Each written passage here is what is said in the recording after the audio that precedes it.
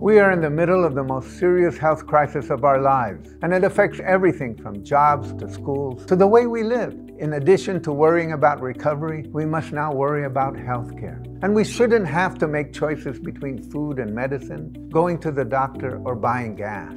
We all need access to healthcare, and now more than ever, we need hospitals and clinics which can respond to pandemics. We must get the vaccines and new treatments for COVID 19. We must be ready with ventilators and partnerships with the federal government for our emergency facilities and have pandemic plans which provide a secure safety net. We must be ready for the next crisis. And this takes a leader in Washington who is trustworthy and will work with local leaders and experts. This is why I am running for Congress. I humbly ask you for your vote. Si Tuus Maasi, maraming salamat po. I'm Robert Underwood, and I approve this message.